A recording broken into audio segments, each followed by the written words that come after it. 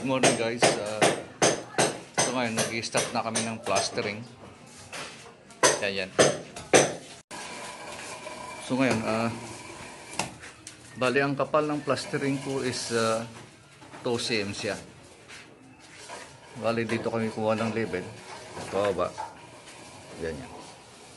Kaya may mapapansin kayo, may mga lagay akong tansi. Para yung yun ang guide ng ano, leveling ng plastering nila. Yan. Yan siya. So ito ngayon, ah, yan. ah, yan. Bali 1.5 yung pambara niya.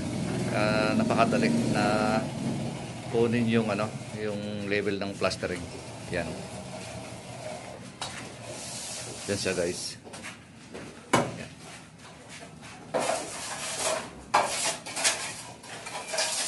So, ganun lang yung ano, ah, kadaling uh, pagsiset up o pagre-level ng ano, ng plastering. Ah, bali, yung ano, 2 cm, man- minimum na yon dito sa loob. Yan. Kaya napakadali lang ah, pagka gagamit tayo ng bara. Lang makukuha na natin yung ano, yung level ng ano ng plastering talaga. Ayan.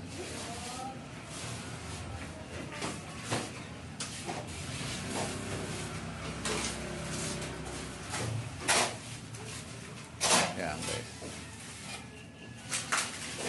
Tapos ulit, babarayan yun pagka may level ng ano, yung konti yung ano, yung, mala, yung malalim. Tapos sunod dun, babarayan ulit. Yan. Ulit to, nagpabili ako kanina, pambara.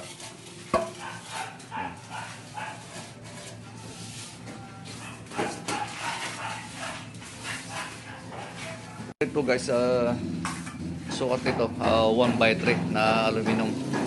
Yan. Ito yung 1, tapos ito yung ah, laban niya is 3. Ah? Oo. Uh, ito aluminum. Yan.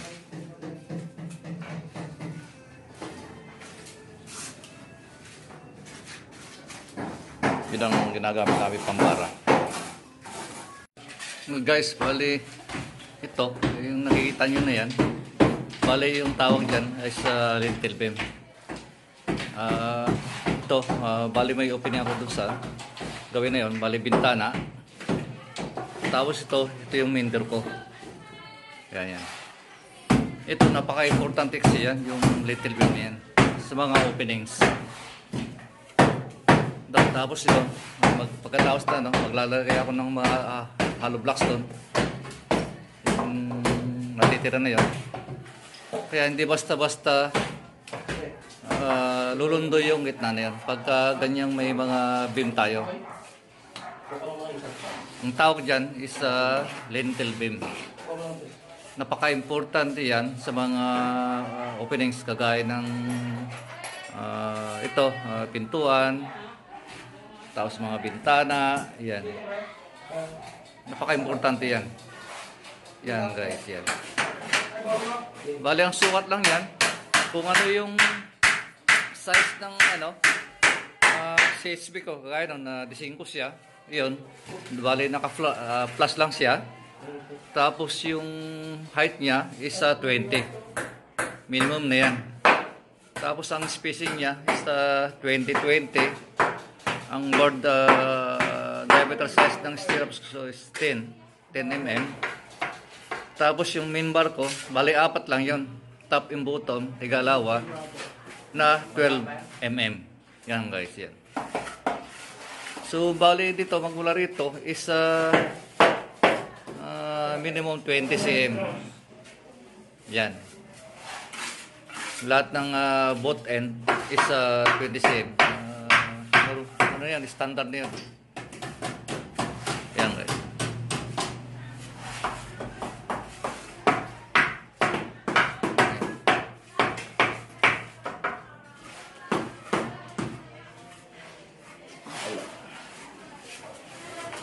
So, bali, binuo ko na yan, isang beam na yan. Gawa yung pagitan ng bintana at saka main door ko is ano lang to, mga 40 cm na lang ito. O 50 cm. Kaya ito, binuo ko na yan magmula doon.